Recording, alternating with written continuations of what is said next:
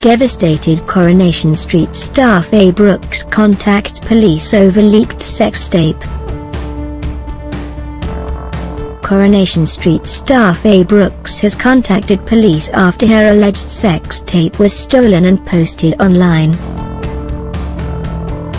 The alleged footage of 30-year-old Faye, who plays Kate Connor on the ITV soap, and an unidentified man was stolen from a phone and posted online.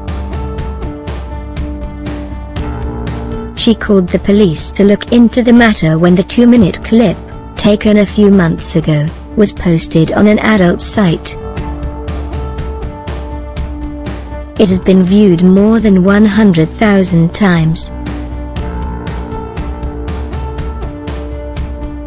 A source told The Sun that Faye is, understandably, devastated that private footage of her has been made public.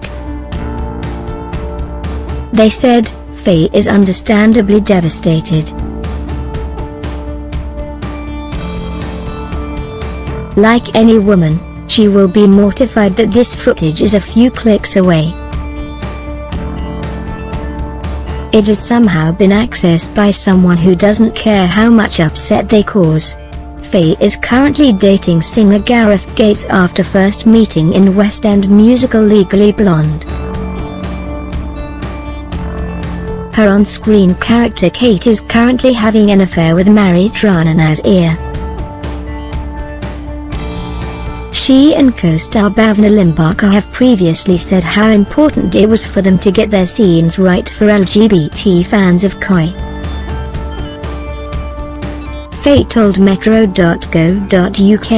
it's overwhelming sometimes, we have to take a step back and we talk every time we come across a new scene, we have to discuss it at arm's length because we just want to get it right, not just for the LGBT community but for the sake of Koi, for the fans for the young viewers and those girls who are looking up to us. Metro.co.uk has contacted Faye's publicist for comment.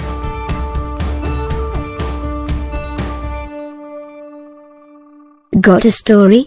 If you've got a story, video or pictures get in touch with the metro.co.uk entertainment team by emailing us celebtips at metro.co.uk, calling 020361522145 or by visiting our submit stuff page, we'd love to hear from you.